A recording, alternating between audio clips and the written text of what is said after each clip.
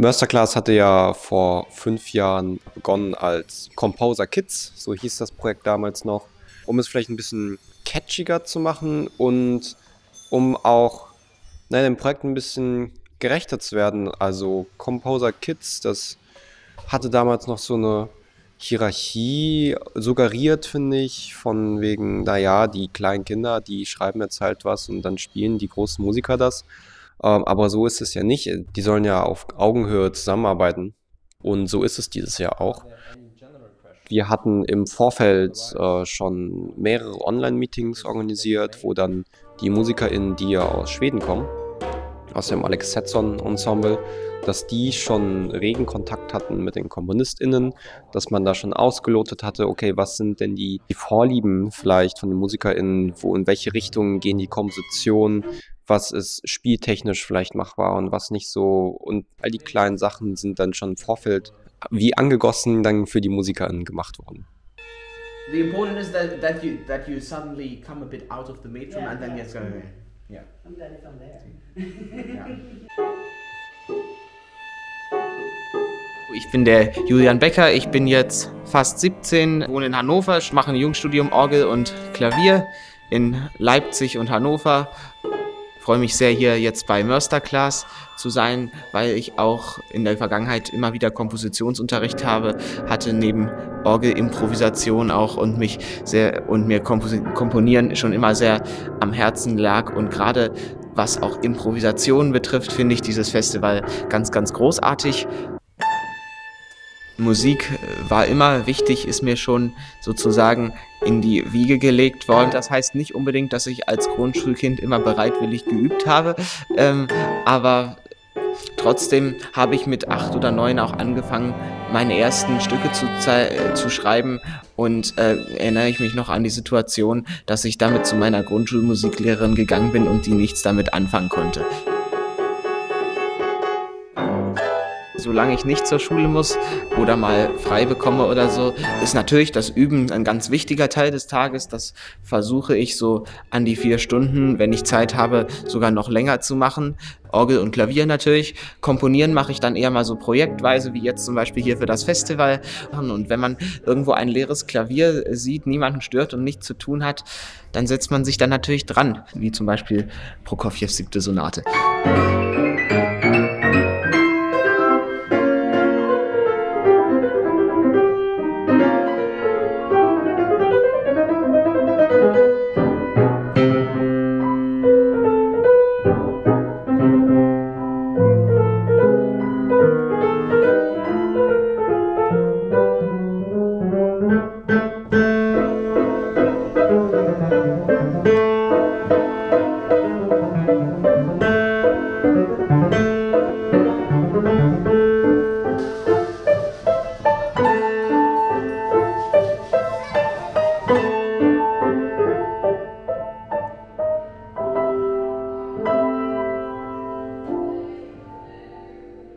Also ich bin Thiabe Björkson, äh, 18 Jahre alt. Ich komme aus Niedersachsen, aus der Nähe von äh, Hannover. Ich habe sofort da angefangen zu komponieren, als ich ganz, ganz jung war.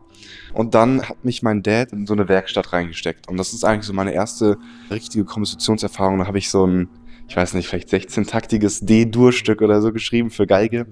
Und dann äh, hatte ich sozusagen die schwierige Aufgabe, noch eine Cello-Stimme zu ergänzen. Seitdem habe ich alle Workshops, die ich sozusagen gefunden habe, für Hannover gemacht und immer in dieser Umgebung da. Und dann dachte ich, okay, wenn ich komponiere, am Klavier komponieren ist schon praktisch.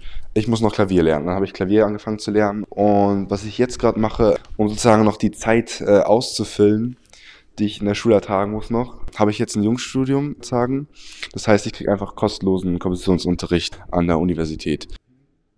Ich glaube, mein Vorteil beim Komponieren ist irgendwie, dass ich ein sehr, eine sehr gute Intuition habe, ein sehr gutes Bauchgefühl ich bin ein guter Theoretiker in dem Sinne, als ich das angefangen habe zu lernen, das macht mir Spaß, dieses Schreiben und Überlegen, mathematisch vielleicht auch ein bisschen so zu gucken.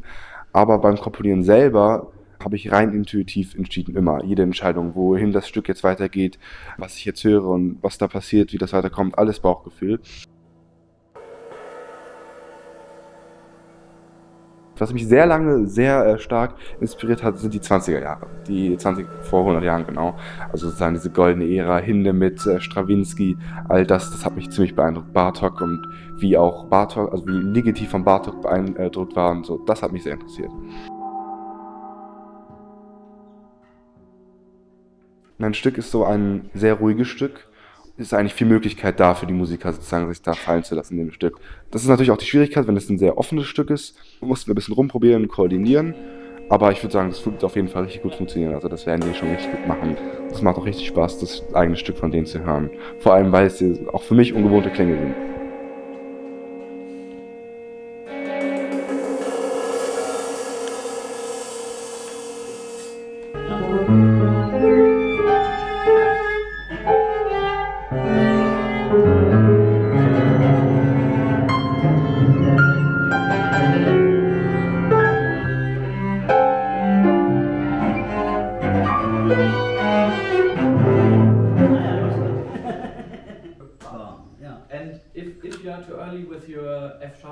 Ich bin Ferdinand Heuberger, jetzt gerade 19 geworden, studiere in Stuttgart Posaune. Ja, Musik für mich entdeckt schon relativ früh. Den Spaß daran, dass ich gesagt habe, okay, das will ich auch jetzt irgendwie weiter in Richtung Beruf machen oder so. Das müsste so mit 13 müsste das gekommen sein das war irgendwie schon so ein Eigending. Also ich habe gesagt, ich will das machen und dann habe ich das auch gemacht. Und meine Eltern haben mich natürlich äh, dabei unterstützt. Und der besondere Reiz war irgendwann dann schon auch, dass man damit einfach was anderes hat als andere.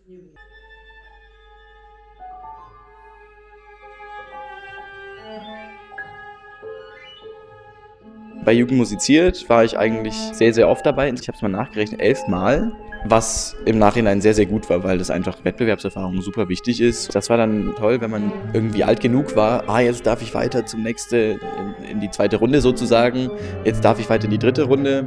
Das war schon ziemlich cool.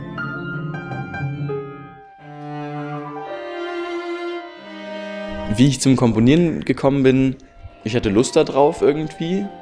Ich habe viel Musik selber gehört einfach, was auch eine Eigenheit ist. Man, wenn man in diese Musikwelt reinkommt, dann driftet man manchmal so ein bisschen in seine sehr eigene Welt ab. Und dann ist es gut, wenn man nicht musikalische Eltern hat, die dann einen auch wieder zurück auf den Boden holen. Das war einfach so ein Ding von, wenn das andere können, dann kannst du das ja vielleicht auch. Natürlich erstmal nach Größen nachgestrebt, die Musikgeschichte halbwegs nachkomponiert. Und dann, je mehr man lernt und, und kennenlernt vor allen Dingen auch, desto mehr versucht man irgendwie dann was Eigenes zu machen was Eigenes auszudrücken. Also, also nicht mehr nur was nachzukomponieren, sondern zu sagen, okay, ich, ich habe jetzt irgendwie ein Handwerk schon, wo ich was schreiben kann, was funktioniert. Jetzt versuche ich was zu schreiben, was, was was richtig ausdrückt, äh, was Eigenes zu machen und dann ist es tatsächlich so, läuft man rum und, und brütet über einem Gedanken und wenn der Gedanke reif ist, dann kommt es einfach raus. Ja, meine Hand hat sehr weh getan danach.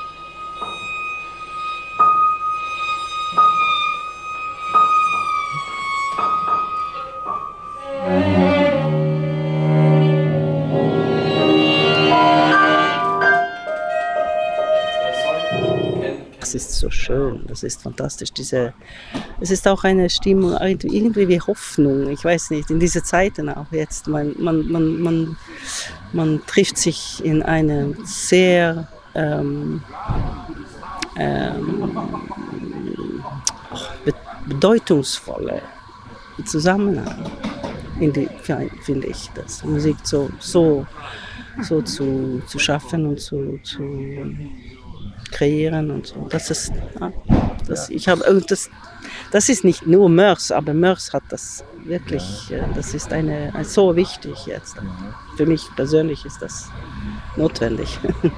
Also wie Lukas das hier arrangiert und, und, macht und, und, und initiiert, das ist, das ist fantastisch. Das muss man, da muss man nur also gut äh, und, und danken. Das ist, das ist wirklich fantastisch. Solche Initiative ist, so, sind so wichtig.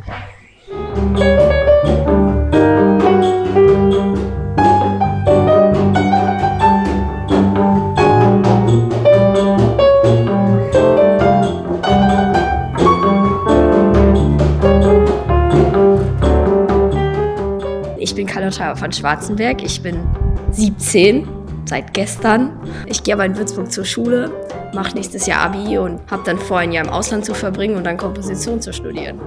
Ich kann gut vor Menschen reden, auf Bühnen stehen, präsentieren, aber ich kann keine Musik vor Menschen machen. Das fällt mir schwer, so Solo-Auftritte tatsächlich. Meine Klavierlehrerin hat mich in die Musiktheorie gebracht. Das hat mich fasziniert und dann habe ich angefangen zu komponieren und seitdem komponiere ich. Komposition hat ja auch viel mit Regeln zu tun, also so musiktheoretische Regeln, Normen. Was kann ich tun innerhalb dieser Regeln? Wie kann ich die wie auslegen? Wie kann ich was mit den Regeln erzeugen, was nicht atypisch ist, zum Beispiel? Ich habe immer so Phasen. Das ist so zum Beispiel ein Monat, da mache ich fast nichts anderes. Jede freie Minute, die ich habe, sitze ich dann vor meinem schlauen Buch und schreibe irgendwas auf oder so. Da mache ich äh, einen Monat gar nichts, einfach nur Eindrücke sammeln, die ich dann wieder Erfahrungen sammeln, die ich verarbeiten kann zu musikalischem etwas.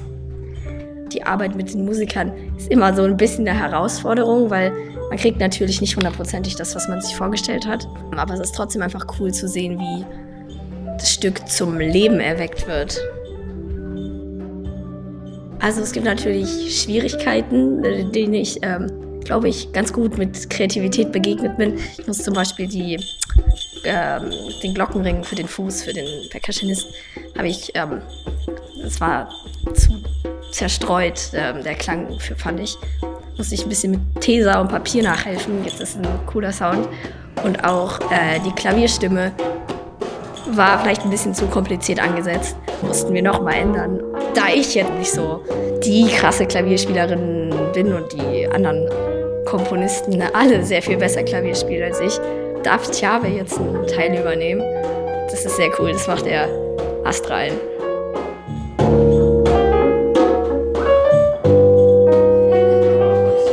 Ja, im Prinzip habe ich hier, finde ich, sehr wenig zu tun. Ich also kann einfach laufen lassen, kann sie machen lassen und das, finde ich, ist eigentlich auch der Idealfall, dass also vieles einfach über die Komponisten und über die Musiker dann quasi selber läuft. Masterclass. Vier Werke junger Komponisten werden von Festivalmusikerinnen in Mersey einstudiert und uraufgeführt.